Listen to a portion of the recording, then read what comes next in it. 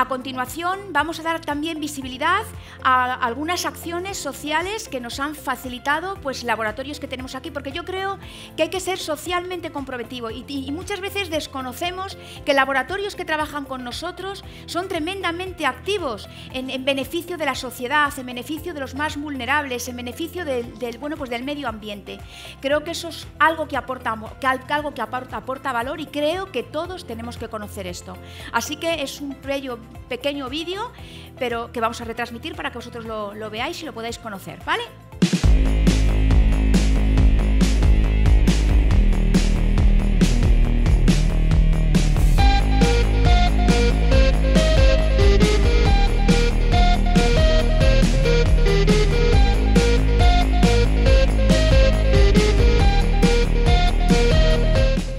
Uno de los puntos claves de hacer Aristocamina es sobre todo el team building, ese equipo que formamos en las diferentes etapas. Tampoco tenemos que olvidar una de las partes más importantes por la que se realiza Aristocamina, que es el fondo solidario que vamos a hacer junto con Farmacéuticos Sin Fronteras. Con esta acción solidaria lo que queremos es dar a conocer Aristo de una manera original y bonita.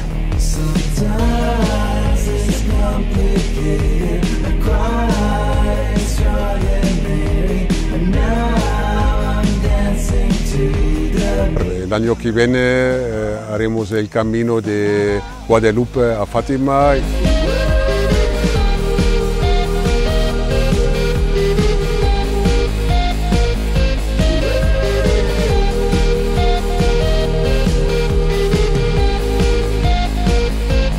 España es muy grande, hay muchos caminos.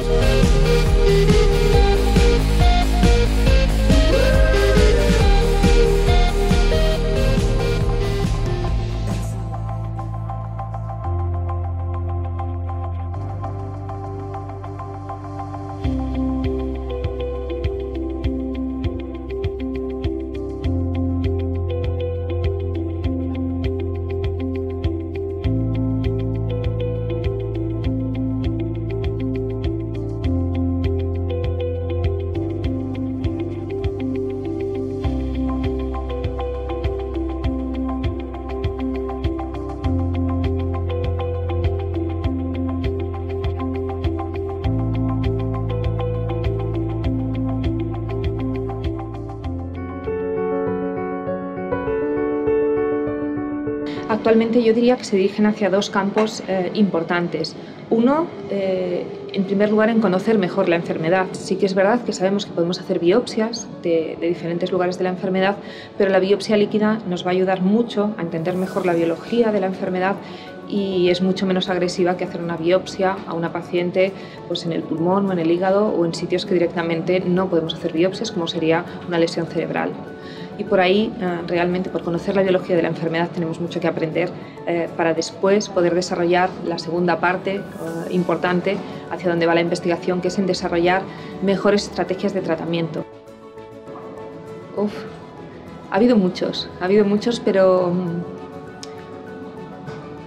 siempre se quedan en un punto humano, ¿no? Yo diría que Evidentemente, como investigador, siempre nos alegra eh, por saber que el resultado de un estudio es positivo y que va a ser una nueva opción para las pacientes y trabajar pues, a lo largo de todo el proceso, desde que un fármaco se está desarrollando hasta saber que se aprueba el fármaco y conseguimos que eso sea una realidad para las pacientes, eso es un gran, es un gran día.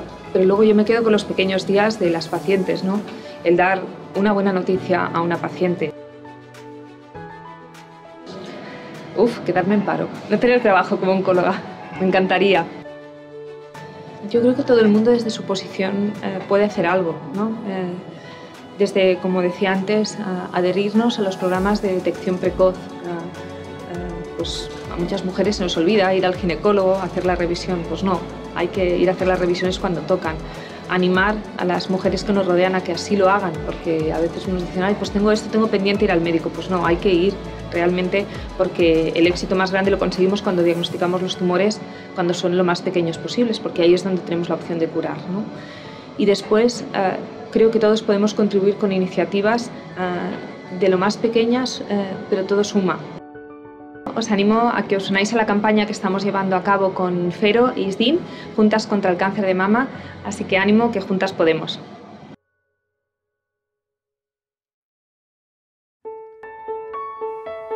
Hacer las cosas por uno mismo. Disfrutar de buena compañía. Desafiar los límites. Aunque a veces cueste un poco más, cada pequeño impulso es en realidad un gran paso. Porque a ellos les mueve la vida, nosotros nos movemos con ellos. Participa en la acción solidaria de CINFA. 50 proyectos de entidades de pacientes, 5.000 euros para cada uno.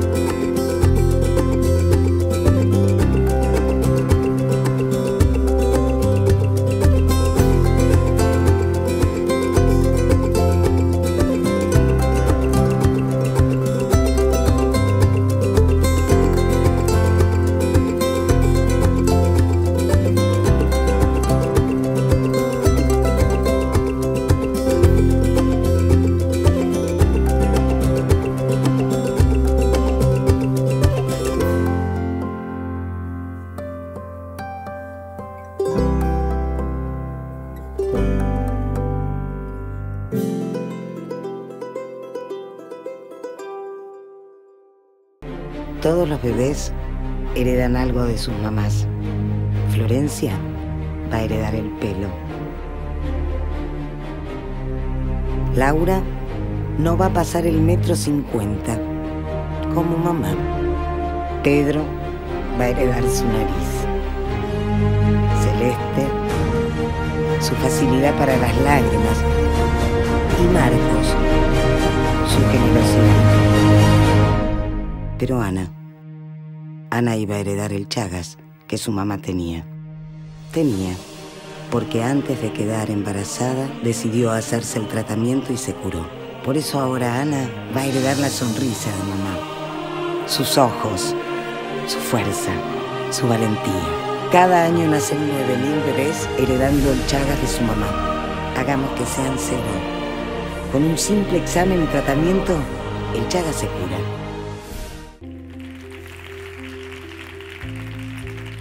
Pues un aplauso para todos ellos. Eh, merece la pena trabajar con ellos, indudablemente, porque tienen un corazón, un corazón grande como tenemos todos los farmacéuticos.